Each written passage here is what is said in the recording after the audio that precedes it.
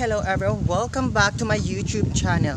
So for today's video, magkakaroon ulit tayo ng ating DIY dress na gawa sa dahon. So ngayon, kukuha ako ng mga dahon at ayan may kasama akong assistant. So ngayon, kukuhanin na natin yung ating mga dahon-dahon. So ayan, bye-bye! Nananawagan po ako sa inyo. Tulungan niyo po ako sa pagkuha ng mga dahon. So, nandito na tayo sa mga dahon-dahon. Ayan. Yan na yung ating mga dahon-dahon. So, yung ating kasama ay naandun kasi mainit. Sayang ang Pamela. So, ayan ating dahon. Simulan na natin. Bye-bye!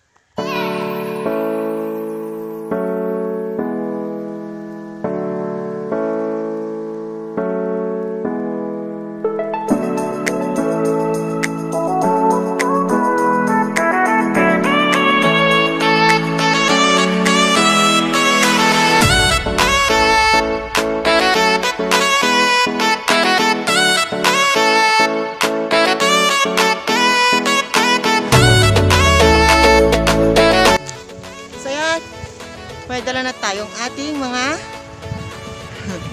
dahon. Oo. Ito yung ating dahon. Siya, assistant lang yan. so, abangan nyo na lang po kung yung ating transformation. Bongga-bonggahang bolgaw na naman ito.